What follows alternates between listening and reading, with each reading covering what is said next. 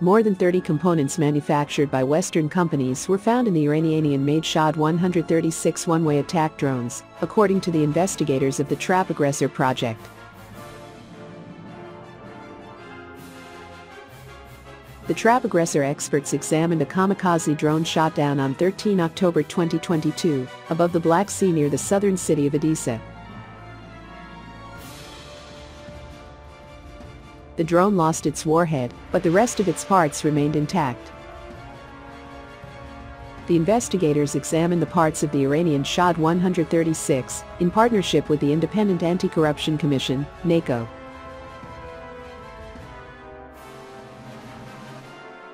Since early September, Russians have been attacking Ukrainian civilians with the Shahed 136 Iranian drones, which were colloquially dubbed mopeds, for the peculiar sound they produce during the flight.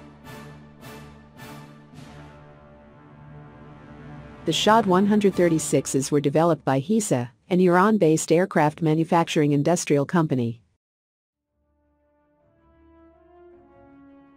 The UAV weighs approximately 200 kilograms, 40 of which are its warhead.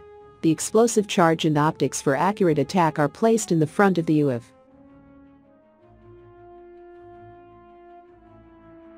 These kamikaze drones are launched from a truck in series and can reach a velocity of more than 185 km per hour midair.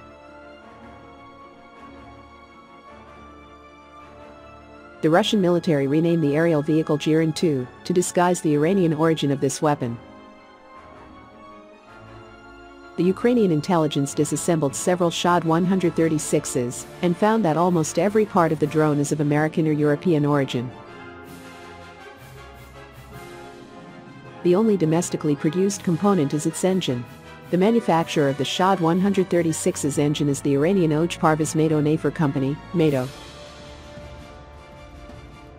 It specializes in drone component production and imports exports of commercial products. According to the U.S. Treasury Department, Mado procured UAV engines for organizations affiliated with the Islamic Revolutionary Guard Corps. On 29 October 2021, the U.S. Treasury Department imposed sanctions on the company and its managers for purchasing engines and parts for Iran's military industry, freezing its assets under U.S. jurisdiction.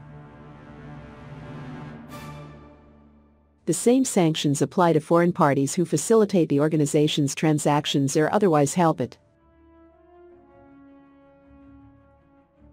All parts inside the Shaheds but their engines are foreign-made the Ukrainian intelligence managed to identify more than 30 European and American companies that have produced the components used in the Shahed.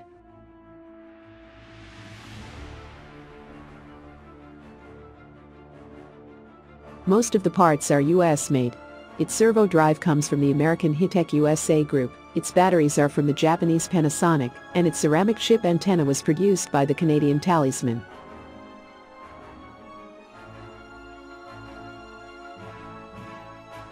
The Shahed's control board is assembled from Japanese and American parts. The power supply board is made of German and Chinese components. The control unit was produced by the Russian plant Sapad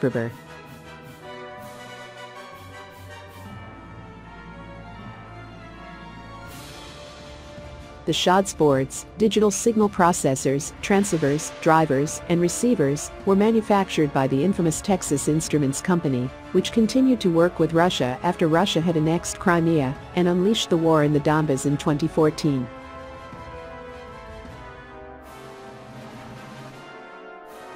After the last month's Trap Aggressor's report on the Russian Iskander cruise missiles that shed light on their production, Texas Instruments finally answered regarding whether they were going to continue to trade with the Russian Federation.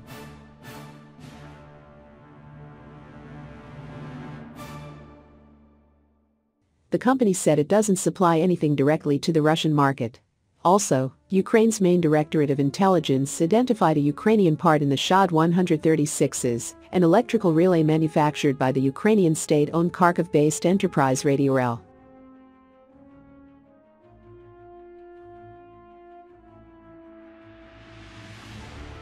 The Radiorail enterprise is a subsidiary of the State Property Fund of Ukraine.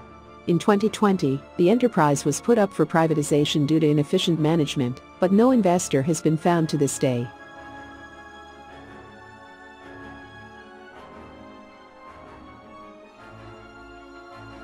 The company's chief Anatoly Donets, who's been running the Radiorail since 2007, continues to manage the loss-making asset.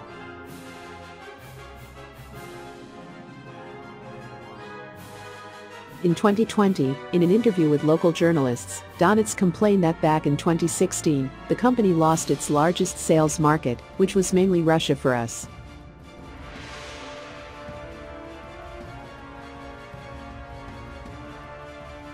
In this way, he actually confirmed that the Ukrainian state company was trading with the aggressor state of Russia up to 2016.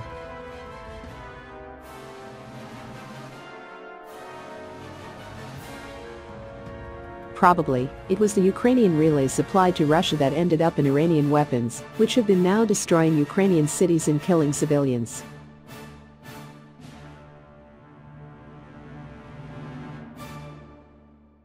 Experts from the Independent Anti-Corruption Commission have sent over 35 letters to all the companies whose parts were discovered in Iranian UAVs. And to date, only three of those sent their responses.